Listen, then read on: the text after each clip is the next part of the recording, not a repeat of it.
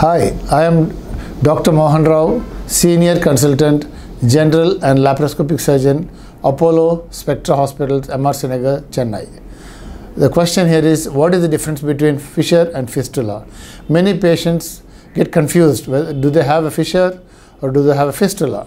They are totally two different entities, different pathologies, different symptoms, and different types of treatment.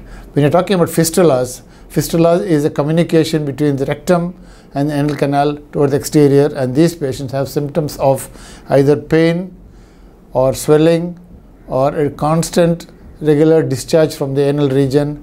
These are fistulas. In fissure, the symptoms are different. They either have constipation or very, very severe pain during defecation or immediately after defecation. Defecation means passing of the stool, and uh, sometimes they even have bleeding. Every time they pass stool, there will be a bleeding.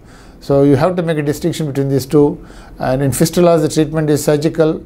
Fissures can be managed medically without surgery unless it becomes very severe. Thank you.